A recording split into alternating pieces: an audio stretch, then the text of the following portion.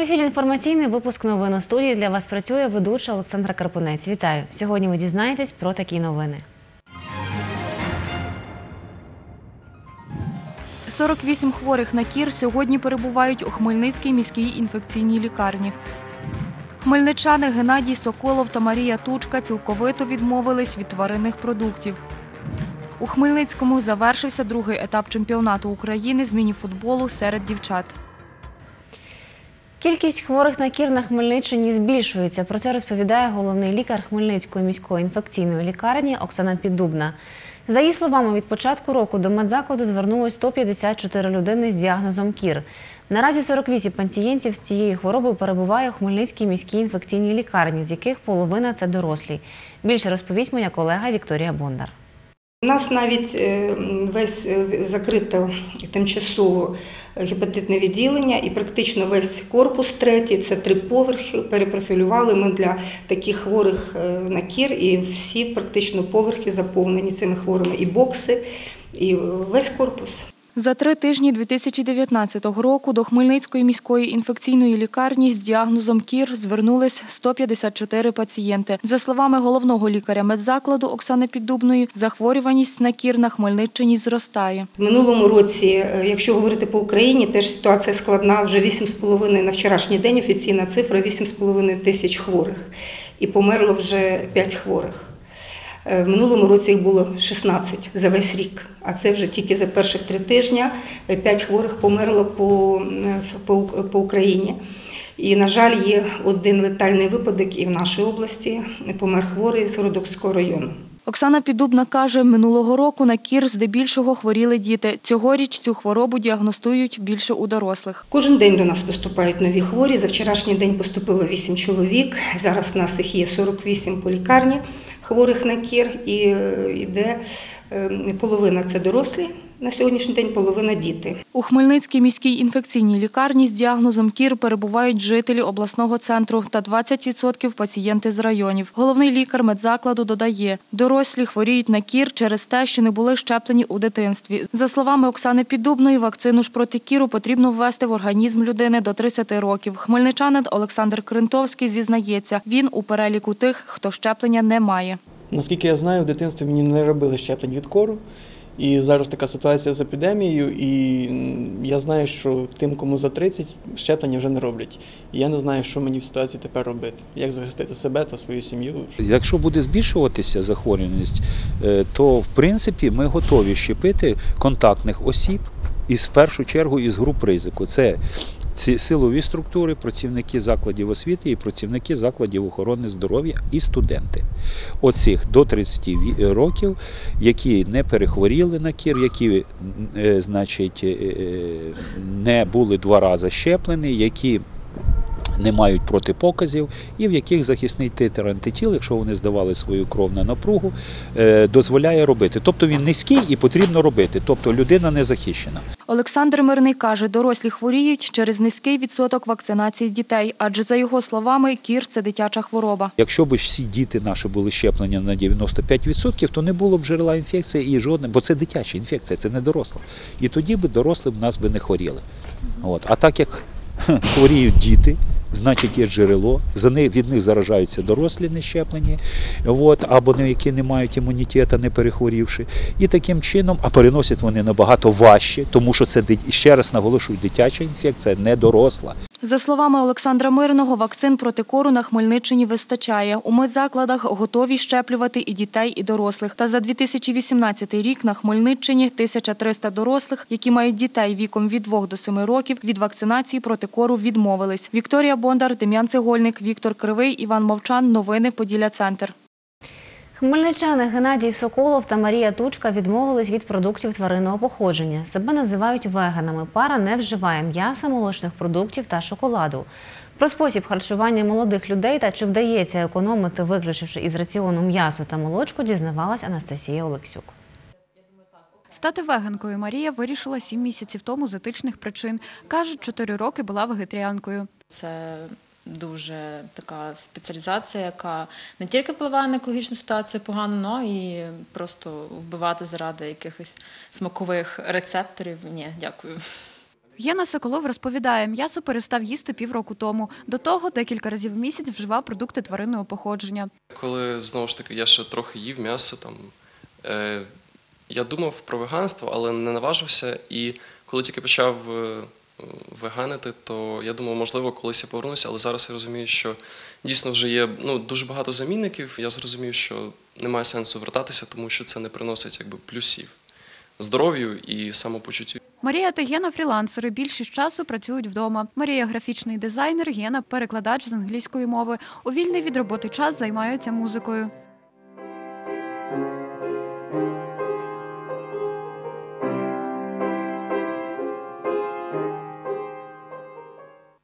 У денному раціоні бобові, овочі та фрукти, горіхи, тофу, хліб та крупи, розповідає Марія. М'ясо замінюють вітаміном Б12. Продукти купують на ринку або у спеціалізованих магазинах. Ми ходимо на ринок. Раз в тиждень скупляємося максимально. Це фрукти, овочі, е, коли треба горіхи, крупи відповідно раз там взагалі пару місяців. А так ми ходимо. У нас є два магазини здорового харчування: один на танку, другий біля тюрми.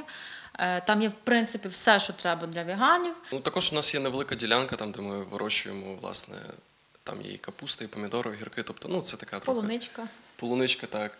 Витрачають на екопродукти Гена та Марія більше двох тисяч на місяць. Але це може коливатися, тому що ну, дійсно там десь дорожче, десь трохи дешевше, але загалом.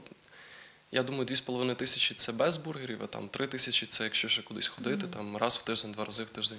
Марія каже, з пластиковими пакетами за покупками не ходять. Ми, коли ходимо на ринок, наприклад, ми стараємося брати з собою або паперові кульки, або лотки, коли потрібно, або просто без кульків ми кладемося в рюкзак, бо це овочі, фрукти, ніяких проблем з цим немає. Пара купує органічну косметику та одяг із натуральних тканин у інтернеті. Кажуть, у Хмельницькому екотовари знайти важко. Останній час е, купляють тільки веганську косметику. Я шукаю, це дійсно було трохи важко знайти. е, Бо в першу чергу, щоб не тестувалося на тваринах, штучні замінники, як і хутр, так і шкіра, вони дуже сильно впливають на ем, екостан. І чи є це гарною альтернативою, це потрібно з досвідом е, якось визнавати. Єна пригадує, спочатку його спосіб харчування рідні не підтримали, та додає, в Україні такий спосіб життя часто не розуміють. Кожного свій організм, і якщо для мене веганство працює, це мій вибір, це окей, це моє. Якщо для того бабусі чи дідуся працюють котлети кожен день, то це також добре, це його організм, тобто він так налаштований. Я просто що часто е, хочу нагадувати їм, наприклад, про тих самих наших пра-пра-пра, які жили до 90-120 там років і так далі, е, що вони їли органічну їжу. Вони не купляли в супермаркеті, вони її вирощували самі, вони знали, що там. І да, вони це їли, і їм це підходило, по-перше, а по-друге, вони займалися досить багато фізичними вправами, і це також е, було в плюсом. Єна та Марія щоранку займаються йогою. У теплу пору року їздять велосипедами та займаються бігом. Змінювати свій спосіб харчування не збираються, бо почуваються добре. Анастасія Олексюк, Іван Мовчан. Новини Поділля Центр. Нетрадиційні способи харчування не підтримують лікарі офіційної медицини. Про це каже лікар-дієтолог Хмельницької обласної лікарні Альона Брянцева. За її словами, у таких способах харчування, як вегетаріанство та веганство, відсутні корисні для організму елементи тваринного походження, такі як вітамін групи Б, А та Д. Современная наука доказала, что только самые разнообразные продукты и особенно продукты животного происхождения дают возможность нашему организму для полного биохимического метаболизма, то есть для полных обменных процессов, которые есть в организме. Мы не научились, ни наш организм, ни у нас нет ферментов, которые бы имели возможность переработать растительную пищу. Продукты животного происхождения, они очень богаты на так называемые эссенциальные аминокислоты. В растительных продуктах их, как правило, по одной или двух этих незаменимых аминокислот не достает. Они необходимы для работы абсолютно всех клеток нашего организма. Альона Брянцева додає, стати вегетаріанцями можуть люди дорослого віку, у яких немає проблем зі шлунком та хронічних захворювань. За її словами, нетрадиційний спосіб харчування не рекомендований для дітей. Переходить на вегетарианство надо очень хорошо взвесить все за и против. Детям точно нет. Есть определенные категории людей, которым точно этого делать нежелательно. Здоровый человек как временную меру, да, может в принципе делать. Есть на сегодняшний день такое разветвление вегетарианства, как лакто-ово-вегетарианство. Это употребление молока и яиц. То к этому еще виду питания медицина относится, ну скажем так, более или менее снисходительно. Альтернатива только одна должна быть. Альтернатива это должна быть принципы рационального и здорового питания, где должны обязательно э, соединяться между собой продукты растительного и животного происхождения. Люди, які наважились стати вегетаріанцями у свій раціон, повинні обов'язково додавати бобові, сою і соєве молоко, а також горіхи, зелень, часник та фрукти і вживати полівітаміни, мікроелементи та кальцій, додає лікар-дієтолог Альона Брянцева. У двох містах Хмельниччини відкриють офіси Open Space. Про це повідомляє начальник головного територіального управління юстиції у Хмельницькій області Віктор Худняк. За його словами, це програма, яка передбачає використання електронної черги та оплату послуг через платіжний термінал. У 2019 році ми продовжуємо відкривати е, офіси Open Space, які стали популярними вже в місті Хмельницькому. Е, Тому буде також такий офіс в місті Кам'янець-Подільському і в місті Шепетівка. Ну це поки що теж не дозволяє ресурси. В Подальшому будемо думати, щоб такі офіси відкривати в кожному районному центрі. Тому що таке Open Space? Це сучасний драц, якому дійсно немає черг, в якому немає бюрократії, мінімізована корупція. І е, сподіваємося, що дійсно люди відчули сучасний сервіс уже дійсно в, в органах ДРАЦ, коли такого такого рішення не було. Нагадаю, центр надання послуг у сфері державної реєстрації актів цивільного стану або ж Open Space відкрили в обласному центрі у липні минулого року. Тоді він став сьомим в Україні. За словами Віктора Ходніка, у 2018 році 3592 громадянина скористались послугами програми Open Space. 36-річна жителька Вінниці загинула у дорожньо-транспортній пригоді біля села Водички Хмельницького району. Про це розповіла начальник сектору комунікації головного управління національної поліції у Хмельницькій області Інна Глега. За її словами, за даним фактом, поліцейські відкрили кримінальне провадження. За попередніми даними, водій легкового автомобіля Hyundai Santa який є мешканцем Вінниці, не впорався з керуванням, виїхав на смугу зустрічного руху, де при зіткнення з вантажним автомобілем дав під керуванням мешканця Миколаївської області. В результаті аварії 36-річна пасажирка легковика, мешканка Вінниці, загинула на місці події, а 39-річний водій отримав численні травми і був госпіталізований до Хмельницької обласної лікарні. Санкція частини 2 статті 286 Кримінального кодексу України, а це порушення правил безпеки дорожнього руху особами, які керують транспортними засобами, передбачає позбавлення волі строком від 3 до 8 років з позбавленням права керувати транспортними засобами на строк до 3 років або без такого. Другий етап чемпіонату України з міні-футболу серед дівчат, що відбувається в обласному центрі, завершився. Про це повідомив тренер-викладач Хмельницької дитячої юнацько-спортивної школи номер 1 Олександр Осацький. За його словами, участь у змаганнях брали дівчата 2004-2005 років народження. Це спортсмени з Тернополя, Києва, Одеси та міста Хмельницького. Подробиці далі у сюжеті.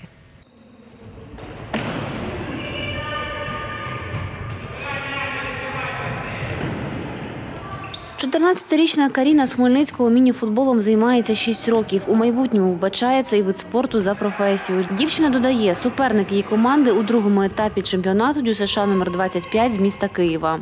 З самого дитинства мені подобався цей вид спорту. Кожного дня я дивилась футбол по телевізору. Нашим суперником сьогодні є Київ. Е, Ми вже колись з ними грали і ми їх е, вигравали. Тому я оцінюю, що сьогодні ми повинні їх виграти теж.